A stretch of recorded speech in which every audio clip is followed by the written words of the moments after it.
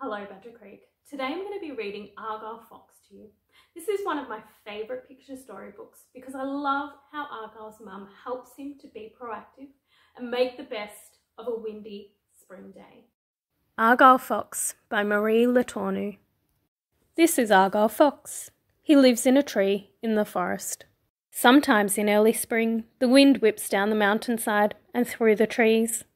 One such day, Argyle told his mother, I'm going outside to play cards. It looks windy out, she replied. I think the cards will blow away. Humph, said Argyle. Argyle picked a spot near the old tree stump. For a few minutes, the wind was quiet. This is the tallest tower in the entire world, Argyle cried. But just then, whoosh! Not fair, said Argyle, and he returned to his tree. Back at home, Argyle looked for something else to do. Found it. Would it still fit? Argyle gave it a go. Indeed, it did. In the forest, Argyle created a web for the world's scariest spider. Ta da! My web is complete.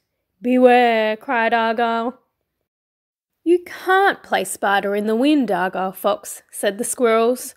Beware, replied Argyle with a hiss. Beware, or I will capture you in my web.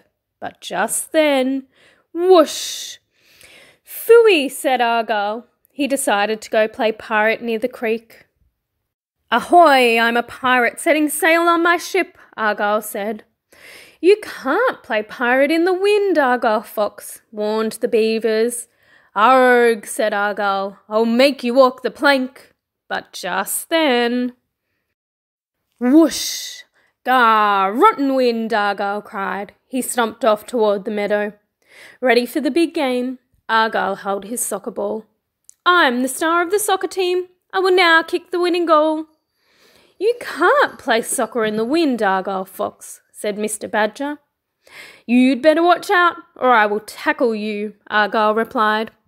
Argyle kicked the ball with all his might. Poot! But just then, whoosh! Harumph! said Argyle as he walked away. I didn't really want to play soccer. On the hillside, Argyle built a castle. I am a brave knight, ready to battle the terrible, ferocious, fire breathing dragon, declared Argyle. You can't play castle in the wind, Argyle Fox, said the groundhog from his burrow. I challenge you to a duel. On your guard, said Argyle. But just then, whoosh! Gah, rotten, wicked, spiteful wind! I'm going home, cried Argyle. Argyle gathered his things and went home. I'm never playing in the wind ever, ever, ever again.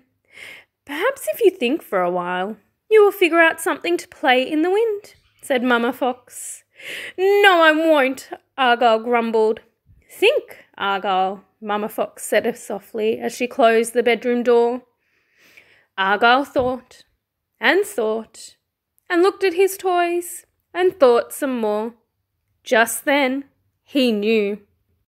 Argyle went straight to work. He cut, tied, knitted, painted, and taped.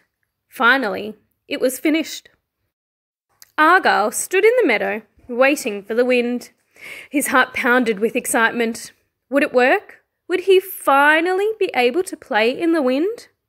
Whoosh! Huzzah! cried Argyle. A kite is the most perfect thing to play in the wind, mamma. Indeed it is, said mamma. Well done, Argyle. You kept thinking until you knew what to do. You are a clever little fox. Thank you, mamma.